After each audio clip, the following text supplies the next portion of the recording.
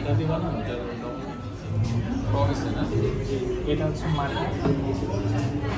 এটা হচ্ছে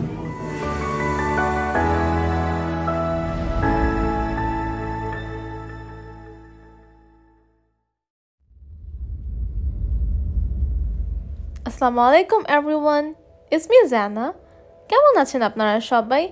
আলহামদুলিল্লাহ আমরা অনেক ভালো আছি।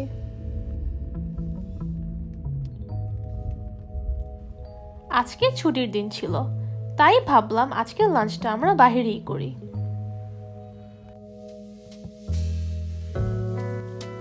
When I go through this road, my mind becomes better and I think if it was like this in all the roads of Dhaka.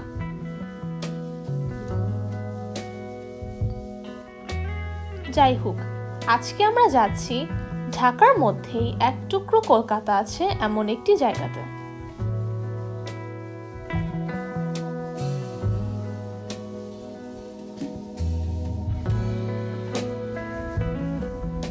আর এই রেস্টুরেন্টের নাম বাবু মশাই হেরিটেজ, যার অবস্থান কলাবাগান বাস স্ট্যান্ডের ঠিক পাশে। সিঁড়ি দিয়ে উঠতেই আপনার মনে হতে পারে অনেক আগের পুরনো বাড়িতে আপনি চলে এসেছেন। সব এন্টিক্স জিনিস দেখতে পাবেন এই রেস্টুরেন্টে। আমরা তো অবাক। আমাদের রেস্টুরেন্ট দেখে মনে হচ্ছে আমরা ভুল করে কলকাতায় চলে এসেছি।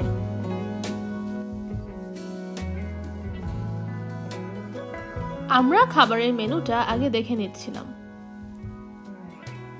ওনাদের স্পেশাল মেনুর মধ্যে ফেলুদার মহাভোজ গোপী বাঘার মহাভোজ, মাছে ভাতে মহাভোজ ছিল।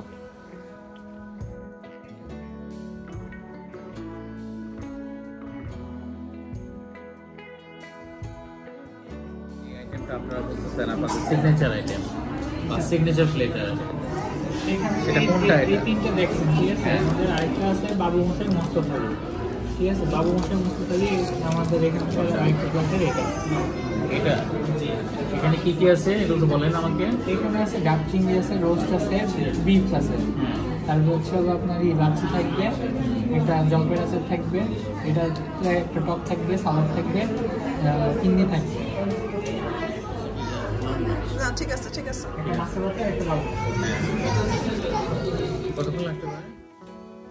আমরা দুইটা থালি অর্ডার করি, যেটার মধ্যে একটা ছিল বাবু মশাইয়ের মস্ত থালি, যেটার প্রাইস ছিল নয়শো নিরানব্বই টাকা।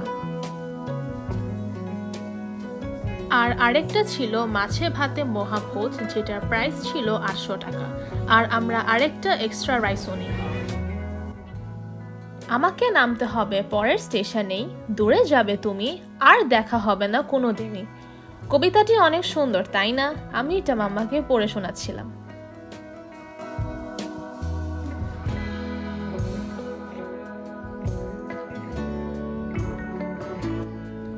সাহিত্যকে এই রেস্টুরেন্টে প্রাধান্য দেওয়া হয়েছে, আর এই রেস্টুরেন্টটি কলকাতার আদলে তৈরি।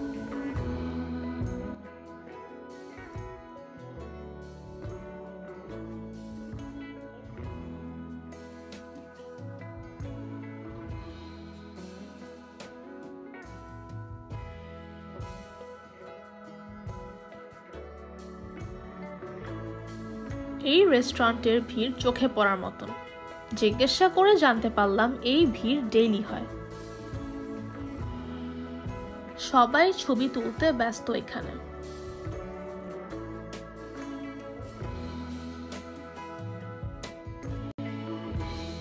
আমরা লাঞ্চ টাইমের বেশ অনেকটা পরেই এসেছি।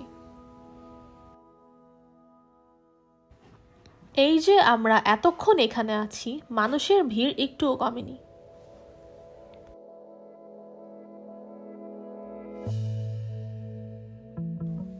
কলকাতার জমিদারদেরকে বাবু মশাই বলা হতো। তারা মূলত থালিতে করে খেতে পছন্দ করতেন। আর সেই থালি কালচারকে প্রমোট করা হচ্ছে এই রেস্টুরেন্টে আর এই যে কলকাতার ট্রেডিশনাল রিক্সা রাখা হয়েছে এখানে। রেস্টুরেন্টটি বেশ ছোট, কিন্তু অনেক সুন্দর করে সাজানো।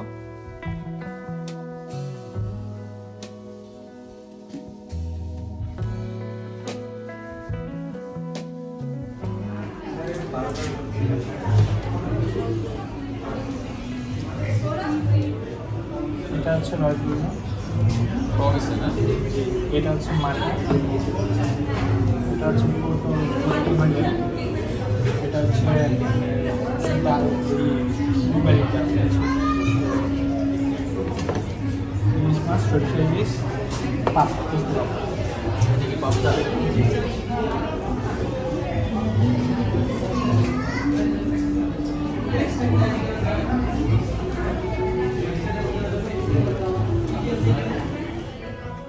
ট্রাস্ট মি প্রত্যেকটা খাবার দেখতে অনেক লোভনীয় লাগছিল।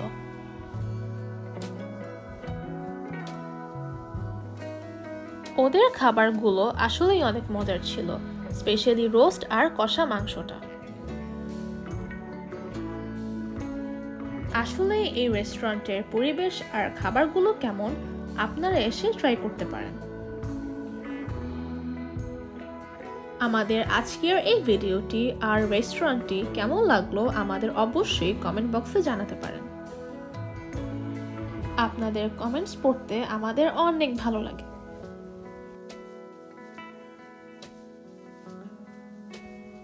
And if you watch this video from our Facebook page, don't forget to hit the follow button. And if you like our today's video, please subscribe to our channel আর bell বাটনটা on করতে তো অবশ্যই ভুলবেন না stay safe till then bye bye